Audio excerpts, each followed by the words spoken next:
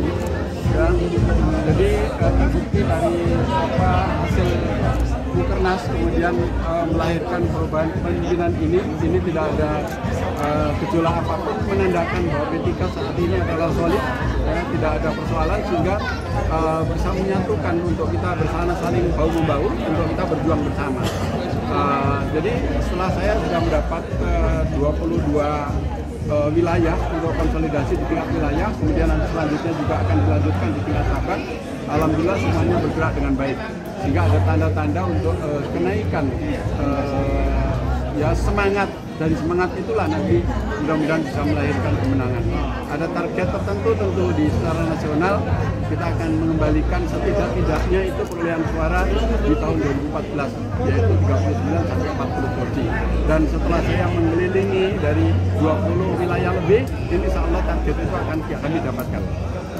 Pak, partai lain seperti di Jakarta sudah uh, lebih dahulu mendeklarasikan calon presiden. Kalau P3 gimana Pak? Iya, uh, partai P3 ini rekan-rekan uh, media tahu kita ada keterikatan dengan koalisi Indonesia Bersatu ya dengan KIB.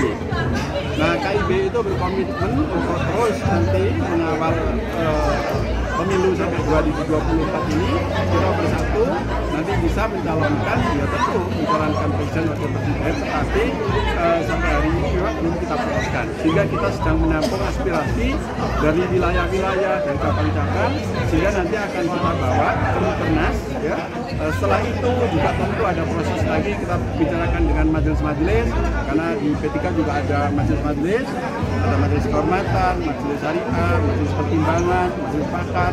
Nah setelah itu baru menjadi keputusan. Dari keputusan itu juga belum bisa P3 sendiri. Kan harus kami bawa KIB. Tentu kan partai-partai lain mitra kerja kami seperti Golkar, ya kemudian PAN, kan mereka juga menampung aspirasi dari uh, grassroots-nya, dari bawahnya. Nah nanti di situlah kita bernegosiasi, akhirnya pasti nanti akan memutuskan yang terbaik untuk bangsa ini ke depan. Titik-titik di mana P3 itu bisa meraih suara elektoral terutama dengan target kita di mana setiap dapil itu harus mendapatkan kursi satu kursi. Itu jadi kami.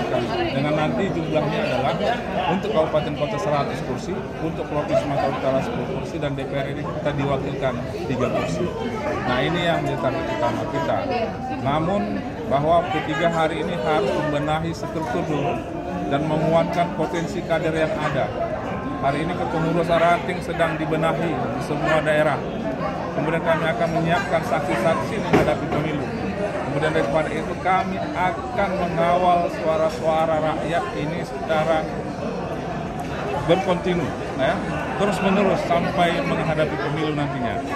Sehingga kita pastikan dan yakinkan bahwa P3 meraih suara sebanyak-banyaknya di pemilu 2024 itu kerja kami nanti. Bah di DPW lain seperti ada kader-kader Ka'bah yang uh, sudah memilih suaranya. Uh, punya suara sepertinya ke Ganjar gitu gimana? Kalau Sumut gimana? Nah ini kan tadi saya dalam pidato saya saya sampaikan bahwa ini wilayahnya Dewan Pimpinan Pusat. Nah kita juga mendengarkan aspirasi dari bawah, ya ke mana mereka arahnya. Kita juga melihat kader-kader pengurus partai ini mau melihat umat ini maunya ke mana. Ya itu yang mau kita lihat dulu. Sampai sekarang kan belum nampak. Nah, makanya Mukerwil ini salah satunya menampung ya usulan masukan setelah kawan-kawan hadir kemarin tentunya membawa informasi dari dari masyarakat bawah apa yang sebenarnya diinginkan oleh masyarakat? Itu nanti akan kita sampaikan kepada Dewan Pimpinan Pusat. Dan keputusan itu ada di Dewan Pimpinan Pusat bukan di tingkat wilayah. Nah tapi kalau politik nanti setelah pileg nah, itu dia.